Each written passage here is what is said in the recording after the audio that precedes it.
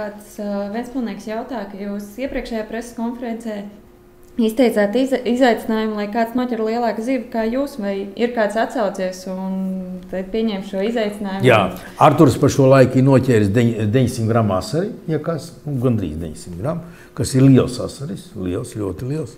Jāsaka gan, ka viņš tina, bet es tā kā pieturēju to makšķeri, jo viņam tas asars rāvā ārā to no rokas. Viņš tā, tā, tā, tā gan, gan jātur bija aiz, aiz, aiz apakles, lai viņi neievelk tas asars tai, tai ūdenī, jo no laipas viņš noķēra. Nu, lūk, bet jāsaka, ka man tikko bija ļoti laba ziņa. Puzes ezerā noķēra pretī tieši man 5 metru dziļumā līdaku 13 kg.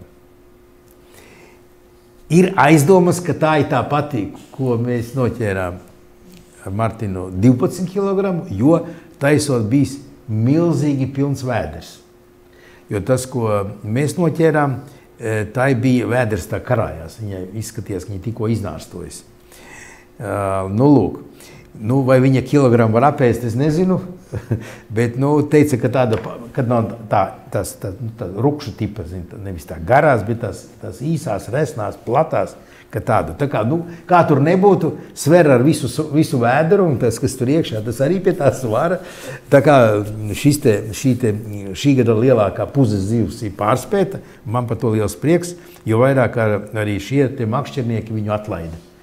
Un vēl viena esot noķerta bijusi Eh, maija sākumā 8,5 kg. Arī tā ir atlaista. Nu, tā kā man prieks dzirdēt, ka makšķernieki ķer un atlaiž. Un, un tad līda, ka varbūt vēl vienreiz pieķersies, būs vēl vairāk pāēdus, un tam būs varbūt 13,1 kg. Bet tā ir cūcene vispār. Nu, uzreiz. Tā nav meistarība, tā ir cūcene. Bet, nu, stipram veids.